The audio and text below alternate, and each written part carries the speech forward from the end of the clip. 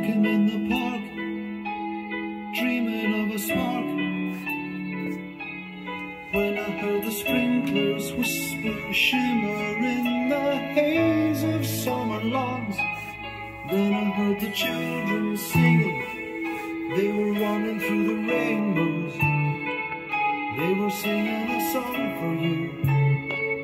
Well, it seemed to be a song for you, the one I wanted to write for you, for you.